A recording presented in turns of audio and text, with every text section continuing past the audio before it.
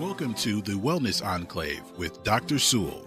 The Wellness Enclave will explore emotional health and its impact on everyday life. In the Enclave, we will address how emotional health is connected to other parts of your life, such as physical health, relationships, spirituality, and even decision making.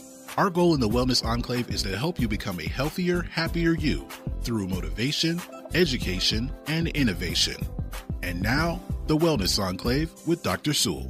Hello, everyone, and welcome to the Wellness Enclave, where emotional health and wellness is our top priority. Today, we have a phenomenal call in guest. The title of the show is From Incarceration to Freedom. This brother is going to talk about his journey to freedom. It is going to be an excellent show, very interesting, and I think it will be very inspirational. You are listening to the Wellness Enclave with Dr. Sewell, and we will be right back after this commercial break.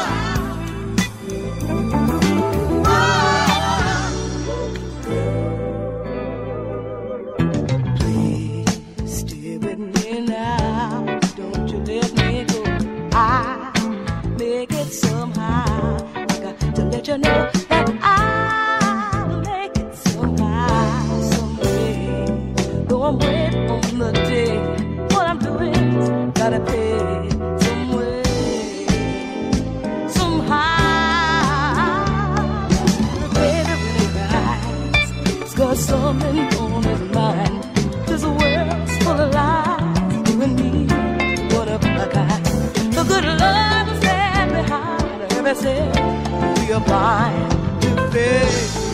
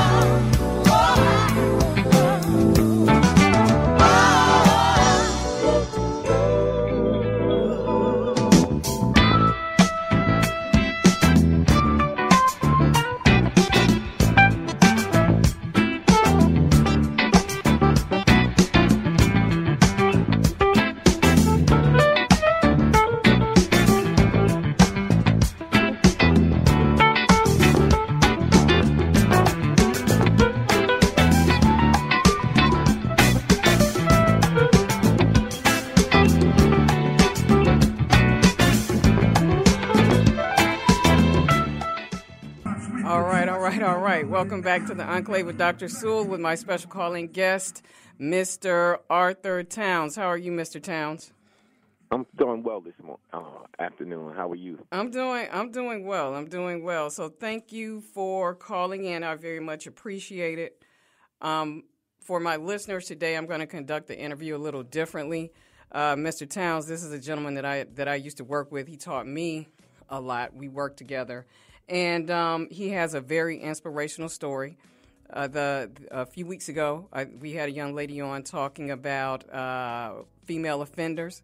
This is a gentleman who is he was a male offender. He has struggled with addiction, but he came through on the other side. And I think there are a lot of people that are going through this, and I think there are a lot of people who need to hear this story. So I really appreciate you calling in, sharing part of your story, Mr. Townsend. The other thing I really well, appreciate. I, I, appreciate you uh, even asking me to, to uh, call in. And, oh, always. I can uh, share some inspirational stuff with someone that might be struggling.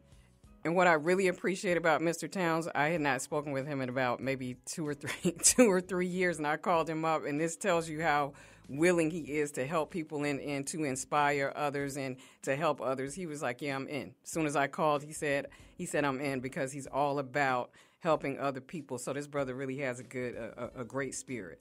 Um, so thank again, you. thank you.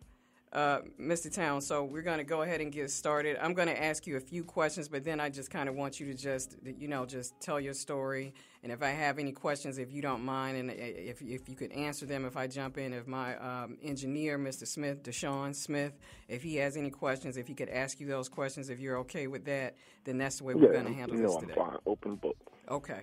Okay, so the first thing, one of the things I want to ask you is, is I know you've been incarcerated. So before you get into your story, one of the things I wanted to ask you about was looking back on it. Did you feel like you were already mentally incarcerated before you ever became physically incarcerated? Um, yes, and uh, in retro, when you you know come through and you begin to find yourself, uh, part of that process for me was to look back and see how did I get here and um, uh, as I came through, I, I, I, came across this book called The House of Healing, um, mm-hmm. the guide for freedom um, for, for prisoners.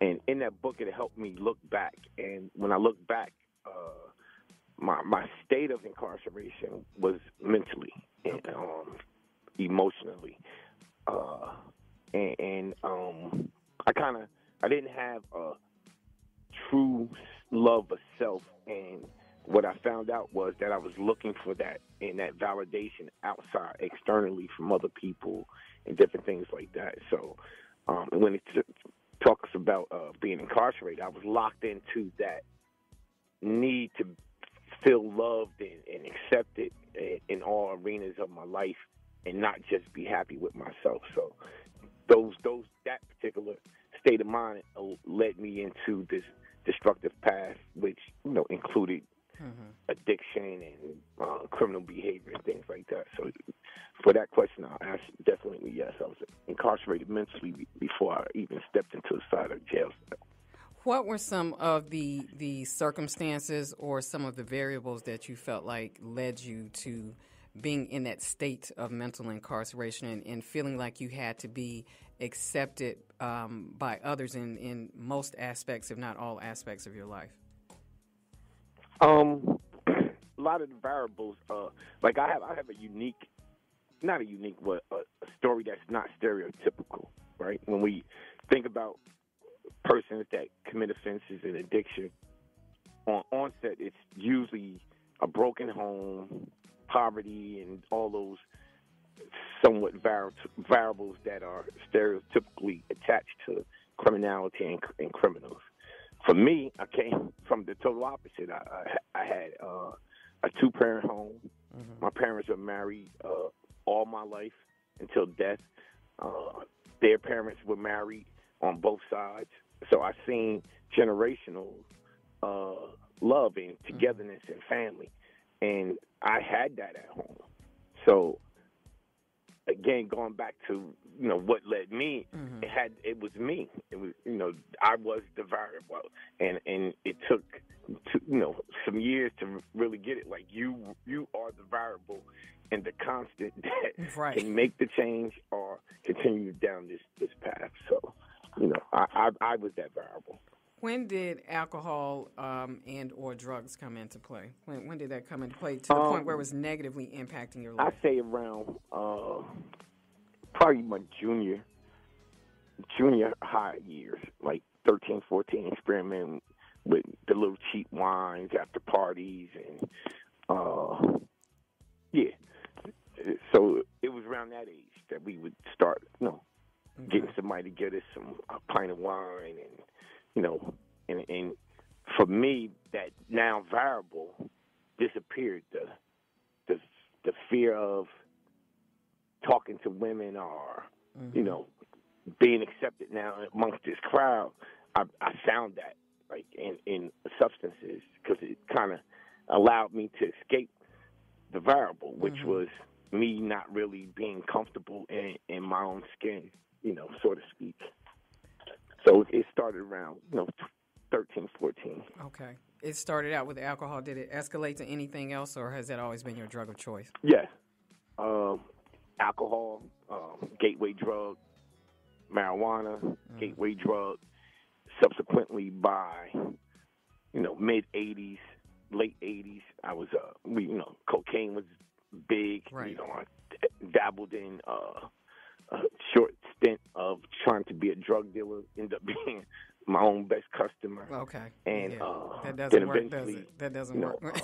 okay. We we would use uh, I would use uh, pills, which was a form of opiate, mm-hmm. and then eventually heroin. And heroin was pretty much the drug of choice uh, until I chose not to indulge anymore.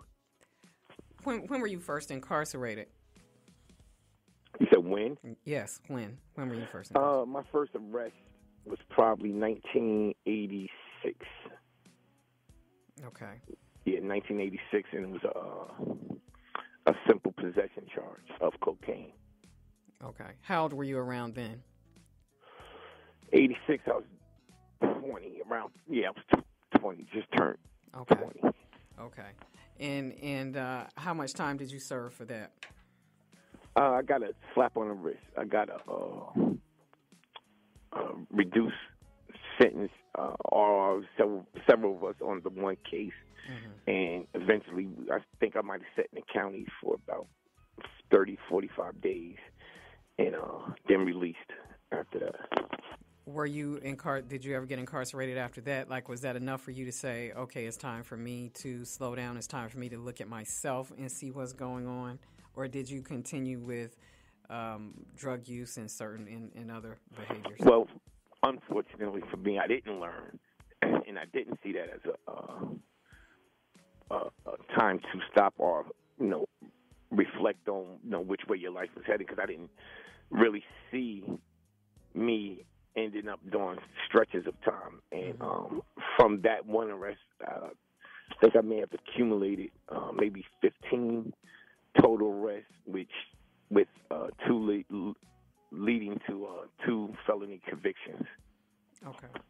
And and during that time, were you had you gotten to the point where you were abusing, not using, but abusing substances? I, I couldn't had, really hear that. Did you during that time? Did you get to the point where you were abusing substances as opposed to using them? You were abusing during like yes. the the, the um, more often. By that, by that time, my addiction had okay. totally totally taken off into a, a abusive state.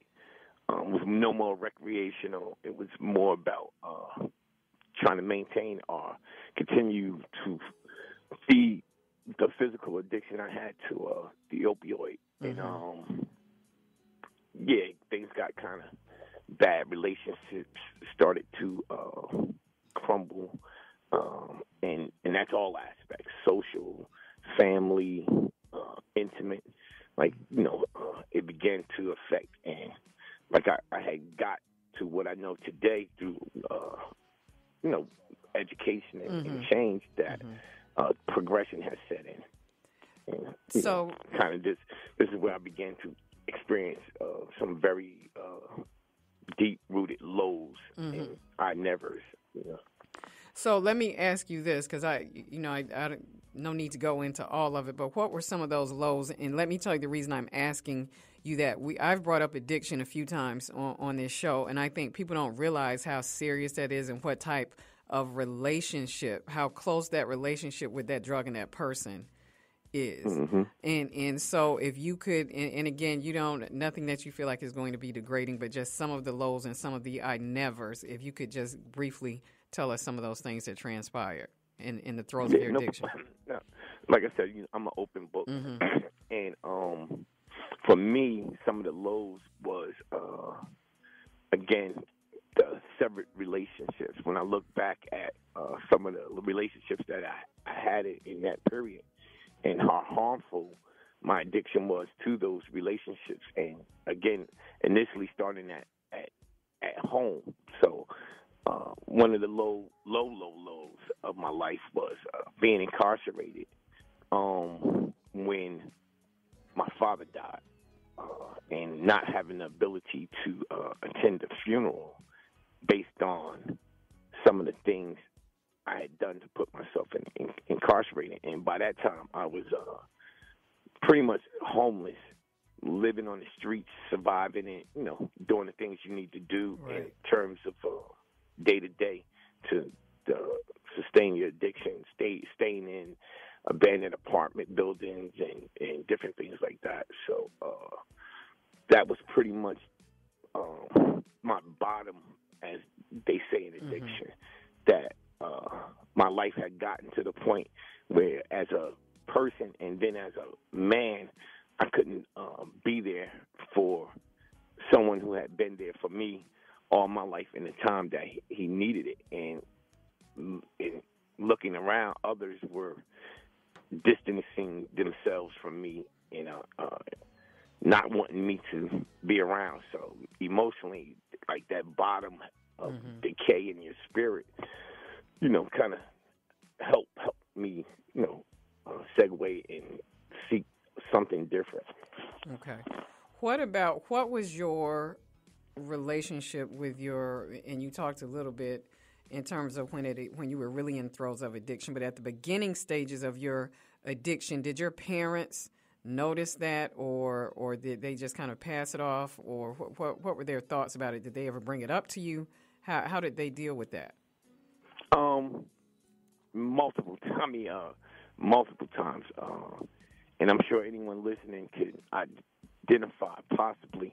But like, there was many days my mother worked for uh, one of the biggest healthcare centers in uh, places in, in in Jersey. Well, probably around the country, St. Barnabas Medical Center, and um, she would often say, "Boy, what the is wrong with right. you. so, like, and and I've heard that many a times, and just to kind of put a, a, a spill, like a real deep uh, impact on others. Uh, with when I say when I, my father died when I was in in jail, uh, I remember calling, trying to get you know the mm-hmm. necessities that we think we need in jail, cigarettes and da da da. And he told me, he said, he said, I can't do this anymore. He said, oh, like like you on your own. You're you're a man. You got to grow up. Da da da. And uh, you know, I'm not doing it. Mm-hmm. And like right before he hung up the phone, he asked me a question. He said, "What did I do wrong as a parent?" Mm-hmm. And and like that hit hit me in my heart. Like here, this is a man that worked for the federal government for 35, 40 years. Mm-hmm. Always kept us in the house. Never lived in a project, anything like that. Right, right. And so these all these years, he thought he had done something wrong, and took major, like was holding on that, like I guess he failed. Mm-hmm. You know what I mean? So, like that, those are some of the things that my parents.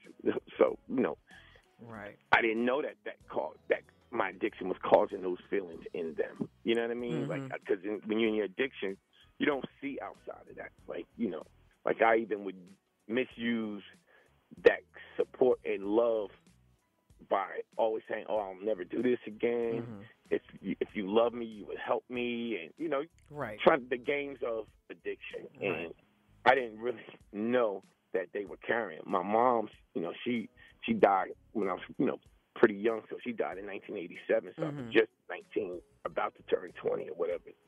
And uh, so she never really seen the bad side. She saw the high school mischief side. So when I came in drunk or inebriated, she'd be like, "Boy, what the hell is wrong with you?" Right. You know. So right. right. Those are some of the things my parents, uh, you know, unfortunately had to deal with, and I during the height of my addiction, I did not know, or in the middle stages of my addiction, I did not know that they were carrying those those ills. Okay, so we have we are listening to Mr. Arthur Towns talk about his journey to freedom and not just about physical incarceration but mental incarceration as well. So his journey to freedom. You're listening to Dr. Sewell on the Wellness Enclave and we will be right back after this commercial break.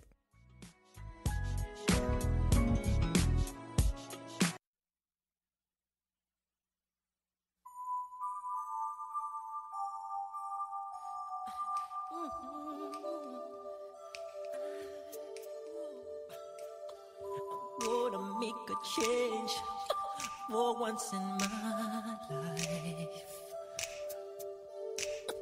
It's gonna feel real good. Gonna make a difference. Gonna make it right. As I turn up the collar on my favorite winter coat, this wind is blowing in my mind. I see the kids in the street with not enough to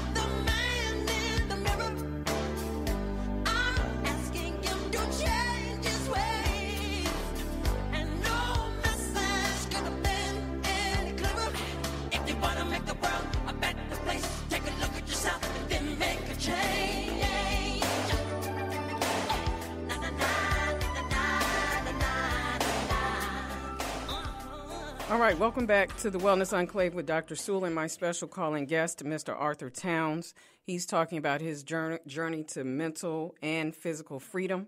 Uh, Mr. Towns, we have about seven minutes left, so there are a couple of things I want you to do. I know it's a short period of time, but for the next five minutes, I want you to talk about some of the challenges that you had, but how you managed to pull through those challenges in terms of moving towards that physical freedom and that mental freedom, whether it's dealing with, uh, you know, getting into recovery and, and those types of, and, and maintaining your recovery and those types of things. And then the last two minutes, I want you to talk about what you're doing now. And if someone needs help, if you have any resources, feel free to give them out. Okay. Well, um, for me, um, to have gotten to where I am today in terms of mental and physical incarceration, it took uh, me to utilize my state of incarceration as a time to self reflect and really find out who I was and, and you know what was my purpose. And um, like I said, the book I mentioned earlier helped me begin to peel back those layers to look at my core self and and embrace that that inner child that was seeking attention, even though he had love at home, but he was looking for it outside. And once I became uh, back in touch with that guy and began to love that guy, um, I, my, my my process changed. You know, uh, I was uh, sent to uh, a rehabilitation center via way uh, contracts with the state of New Jersey that we have, um, and I, I began. I continued. You know, um, I continued to utilize my counselors and, and talk about the things that I thought were really holding me back. So by the time I walked out the door, I was beginning. I had begun to feel free and free, not just physically, more so the spiritual and emotional uh, bondage that I had placed myself in. So, and, and from there, I just continued to uh, dig in. You know, I'm, I'm part of a, a self help program. Um, in de- this past December, uh, marked 21 years of uh, drug and alcohol uh, free. Oh, wow. Uh, 20 That's years great. being out uh, as of December the 14th, uh, 2018. Um, so, and I continue. I continue to uh, work on self. I, I found solace in my particular uh, choice of religion. You know, so those are the things I did to begin to free myself mentally and, and emotionally, so that like my likelihood of doing something irrational to go Mhm. back to prison or jail, period, uh, it, it, it just wouldn't match. The variables wouldn't match. You you take care of yourself. You want more for yourself. Then you won't do things that are harmful for self. And you know, I kind of try to stick to that um, mantra and, and equation, and, and thus far it's been successful. You know, um, just for the day, and, and uh, like I, I take minimum of the credit, even though you know you have to do things you need to do. But Right. like I, I have a, a belief system now that you know um, my higher power will, you know, kind of guide me in the way that I need to, as long as I'm in center and, and follow the path and Mhm. just don't get off the path. You know, um, in terms of uh, elevated myself, you know, I, I, I sought education, um, which you know I encourage anyone to do. To you know, it, it helped me begin to say I can.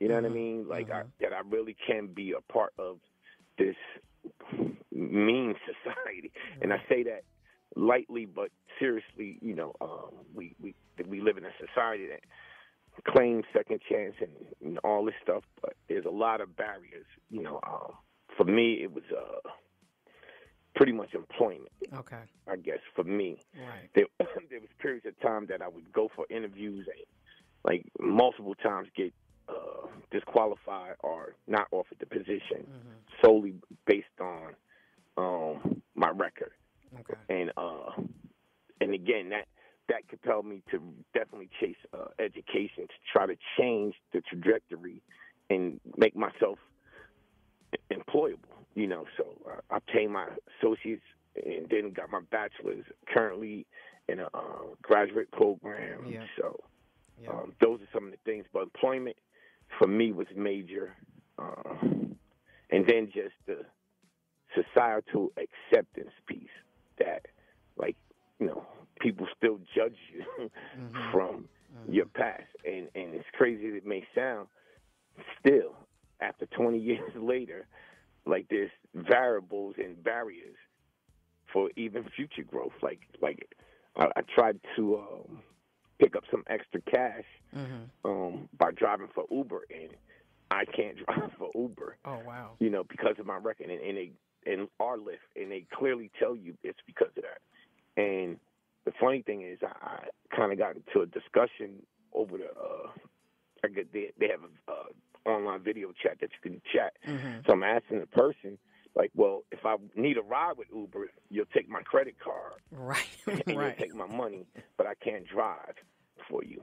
You know, so like we live in a society like that. So I continue to advocate on behalf of uh, returning citizens Okay. and former offenders. Uh, currently am employed by one of the largest treatment providers in terms of uh, um, reentry services for uh, those returning home.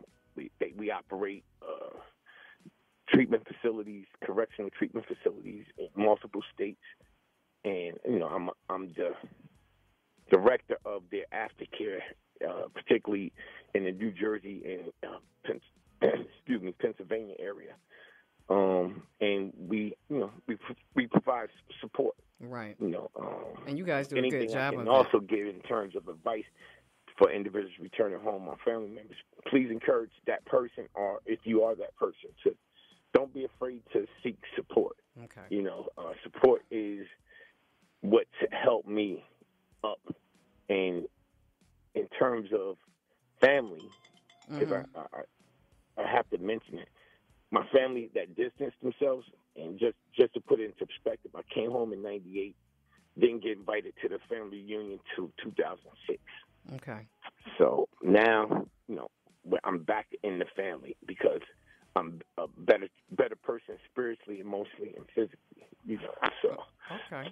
Okay. that's my story. That sounds good, and, and and I know there's much more to it. So I appreciate you knocking it down for me in about like Yeah, 20, yeah. 23, 24 minutes. And again, you know, I even though I don't talk to you that often, I always ask for one of our mutual friends. I'm like, And- how's he? How's he doing? always- and I never, you know, forget you said I taught you, but you taught me a whole lot. And Oh, one of the things in terms of support, and you you know where I'm going with it. Taught n- n- never fold and believe in yourself and stand up. Absolutely. Absolutely. All right, Mr. Towns, thank you very much. And I'm sure my listening audience enjoyed you. And as always, I wish my listening audience a fantastic day and a happy and healthy week. And I will talk to you next week.